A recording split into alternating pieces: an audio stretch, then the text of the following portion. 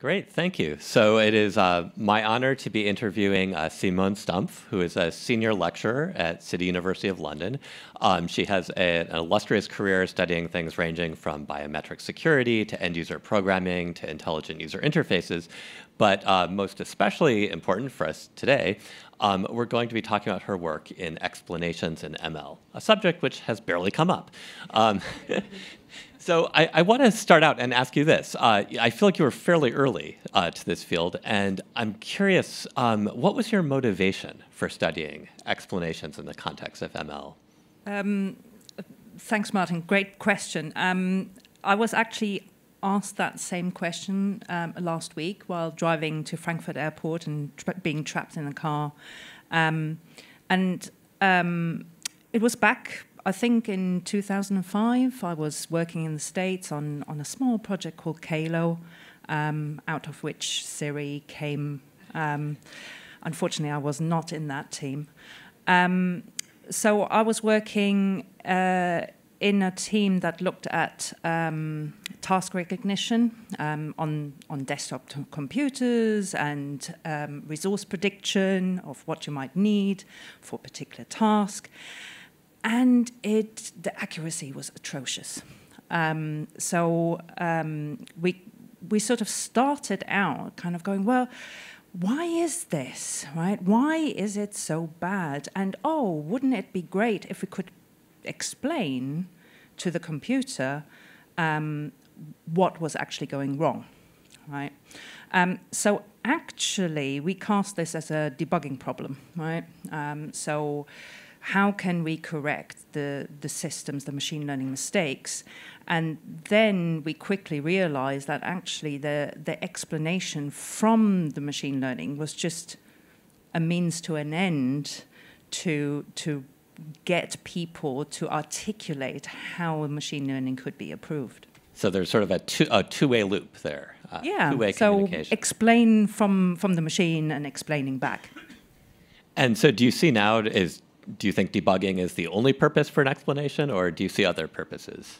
Oh, I think there's there's many different purposes, and I think that that is so important to bear in mind because I think many people um, just uh, cast it in a in a sort of term of um, oh, we need explanation for any system all the time so people can understand what's going on. And clearly, that, that is not the case. I think people um, well, companies might just go, I want an explanation so people trust my system more, right? Uh, that has nothing to do with better understanding on, on part of the, the user.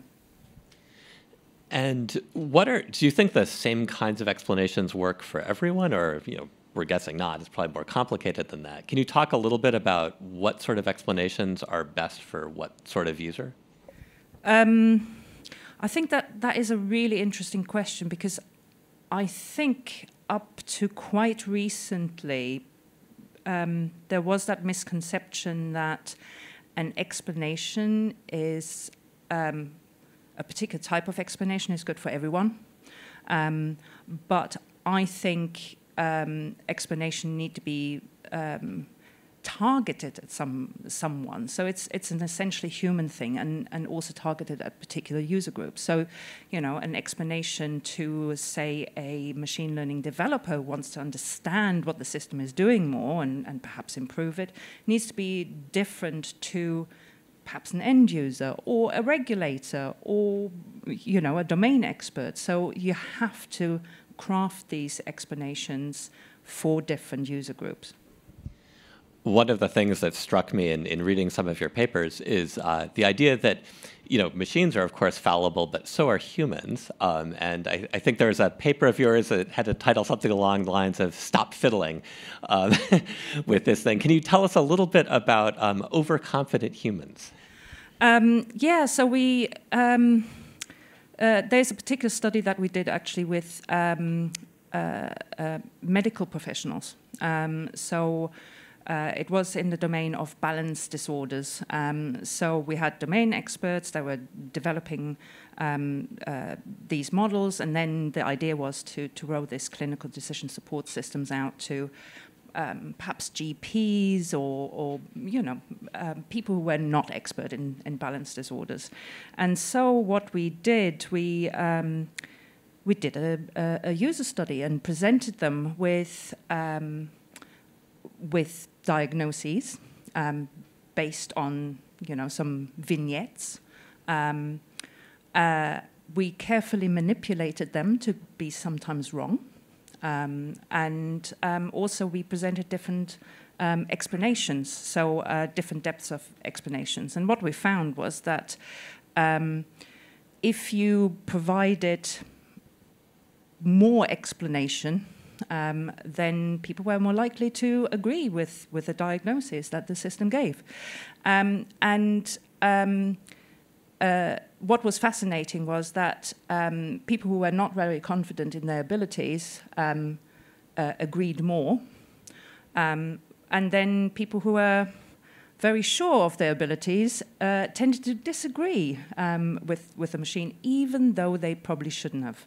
So their um, confidence didn't correlate with their competence, you're saying? No, and um, I think, you know, there has been some recent emphasis on, on the Dunning-Kruger effect.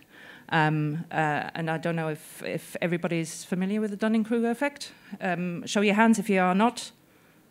Okay, so um, the Dunning Kruger effect is, is basically this model that the, the more confident um, uh, you are in your abilities, the, the more mistakes you actually make. So you're, you're kind of misinterpreting uh, a lot of um, uh, decisions and, and perhaps going against sort of machine learning advice. Um, it's often called uh, the mountain of stupid. So it sounds like there are some individual differences in what kind of explanation is useful, as well as uh, situational differences. Do you think uh, there is hope for explanations that take into account a model of the human user? Um, I think, you know, um, it, it's kind of in, in HCI you would you would so, sort of go oh that's the holy grail user modeling all we have to do is is just model the user and then we can um, just craft um, appropriate explanation for everyone. Um, I think there is something to that. Um, you know, it's very intriguing to think that you could leverage machine learning to personalize the explanation of a machine learning system um, bit meta, but you know that that is good. But until I think we get there and have that amount of data that um, uh, that is necessary for that, I think we're just back to good old UX and HCI work of human-centered design. It's good to know, actually, the old methods are not suddenly obsolete. Um, I, I want to ask you your thoughts on some of the many uh, metaphors or descriptions of explanations that we've heard today, which I think range from, you know, critiques that, uh, you know, an explanation needs to take into account an entire socio-technical system to a big picture of a black box that basically says, don't panic over this, it's, it's fine. Uh, how do you view explanations, or, or do you, you know, when you listen to these other uh, versions of how we should think about them, what is your reaction? Um, so I'm fairly inclusive of what I would call an explanation. Um, so I think, um, uh, to my mind, an explanation is something that answers a question by a user, right? Um, and so that could be through uh, a data visualization, right? Um, if that those are answering a question that the user has, then that that is fine. It could be just, uh, I think I talked to somebody earlier. It could be a traffic light.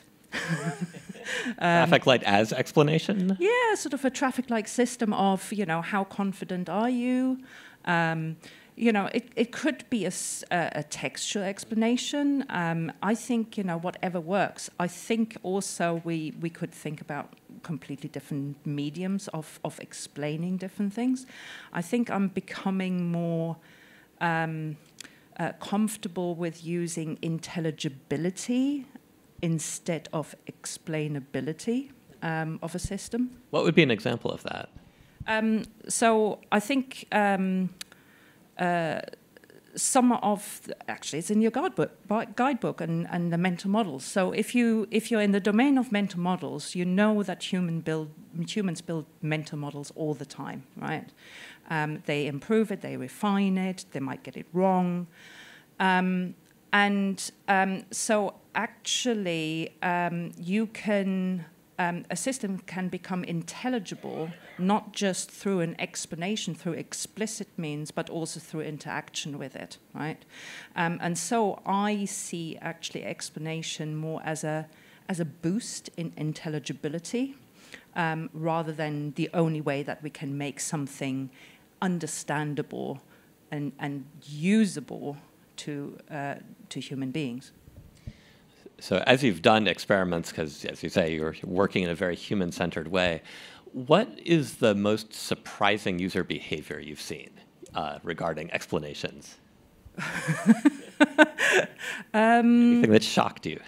Um, I'm not too sure if anything has shocked me in terms of, um, uh, well, has anything shocked me in, in terms of ex explanations? I think what has shocked me in terms of responding to explanations is uh, so I've, I've worked in interactive machine learning um, uh, quite a bit, where we take um, essentially feedback from, from the user back from the explanation into the, the machine learning system. And, and what surprised me is that um, how how wrong people can make the machine learning system based on, on, on their feedback. So uh, usually what we see is uh, overall, right, taking across all user and all of the feedback, um, we improve system accuracy, except for some users, which again, you know, provide so really wrong feedback. Describe a system or what, what the user does that makes things go so wrong? Um, so um, actually, we, we did a study on, on that where, where we were trying out how we can uh, incorporate user feedback um, back into the machine learning system. And um, uh, we did that on a, um, a text classifier. Um, and what we found was that users choose, they're, they, they're using semantics, right? Um, so uh, if you actually uh, look at um, what words they pick um, in terms of, um, you know, perhaps increasing um, the weight, um, you you quickly find that that they're that they're using common sense concepts, right? They're finding relations in this. Actually, that comes back to to one of the previous talks, right? It's it's the relationships that people pay attention to. That's interesting. And is this something where you find individual differences? Some people are actually able to give feedback well, or is this something that's more we just haven't figured out, um, or we don't have the literacy to, to give feedback? Um, uh, I think that's up to, uh, to, to, to, debate because I don't think we, we know enough yet about why people give good feedback and, and some other people don't. Um, uh, people have sort of speculated that, you know, oh, if you're good at maths, then you might give better feedback because you understand, you know, the reasonings of machine learning better. Um, uh, so we don't know, um, and I think that is also again where we might want to think about. Well, could we pick out these people that give bad feedback or not so good feedback, and, and stop incorporating their their their you know explanations back to the system. It's very interesting because that ties directly back into how we started this idea that explanations really are two way and that you know there's the issue of how you get the machine to explain itself to the human and the human to the machine um, one thing i do want to do is give the audience an opportunity to ask you questions um, if yeah, we can certainly keep talking, but it occurs to me that um, some people may have questions for Simone, and if anyone does, we have a microphone. Um, ah, I see someone walking over. Ah, it's my my shirt double. I just look at that. I, I couldn't avoid it. So I'm sort of curious when we get into these explanations, and particularly in this lens of common sense, which you know I, I found is it's pretty uncommon, right? So one example I wanted to sort of talk through is I landed today at the airport and I needed to get to this conference. So I go on Google Maps and I'm like, I need to get to this conference. And it tells me how long it would take precisely to get there. But it doesn't sort of say, hey, like the train's probably not going to show up at this time, et cetera, et cetera.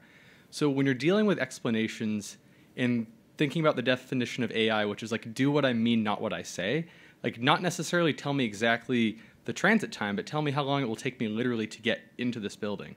Have can you talk about maybe some experiences you've had designing products like that? Um, so the the way that I would approach it at the at the moment, because we we we are lacking um, design principles, um, design guidelines, or even design patterns for for these things. Um, it's it's really back to handcrafting a lot of them, which I find incredibly frustrating, right? Because um, you want to work at scale, right? You want to go, oh, you know, this worked for this problem. Let's let's just use the same thing over here. Um, uh, so really, it is at the moment that that you have to go in and you have to do user research and you have to work with the machine learning people and you have to literally go, oh. Let's stick something like that over here and, and include those explanations and see if it works and do user studies. So at, at the moment we're stuck at that, and I hope that in the next few years we, we get to, you know, actually building good UX of AI. Yeah, thanks for that. So, um, question that might sort of link you and Matt, the the, the, the previous panel. Something about you you were talking about intelligibility instead of explanation in some way. And I feel like there's a whole sort of missed opportunity here somewhere for much more embodied sorts of interfaces that kind of maybe require less explanation and just deliver more of that intelligibility and the kind of, you know, point at the light bulb thing seems to be in that ballpark and also the vending machine with its sheer physicality. So I wonder if you could say a bit more about what you had in mind by intelligibility and see if they hook up somehow. Um, Yes, in a way, you're exactly right. I think using intelligibility opens the way to other mediums of communicating with the user. Yeah. Uh, that is not just cast in terms of an explanation of what people might um, understand with it. So, you know, you you could say, well, it could be embodied, it could be haptic, it could be just through continued exposure to to a process of of prediction that makes it understandable, intelligible. Um, it also means that um, I think we are then talking about different metrics and measurements of what it means to be intelligible. Um, so explanation, usually you go, okay, has it in, you know, um, what's the mental model like now? Have you increased understanding? Um, whereas intelligibility also includes, well, are you using it appropriately? Right? So, yeah. Thank you. Actually, I guess just quick follow up on that. So, so there's a sense in which maybe we end up being more intimate with these intelligible technologies, but that pushes explanation away again a bit, doesn't it? It's sort of like, so do you think there's a cost of going in that direction? A cost where you just you're cozy with it, and so it's not maybe maybe there's a degree of coziness we, we don't want. I just suddenly started to worry about that. Um, yeah, so um, I feel a little bit like I'm biting the hand that feeds me because I'm kind of going, explanations don't matter. um, but I, I always think that um, explanations are means to an end. Um, and it's always important to to think about well what's the end what do you want to achieve with it um, and that can be different in different circumstances terrific. That's a great point to end at because it's a beautiful summing up and our time is up. So thank you very much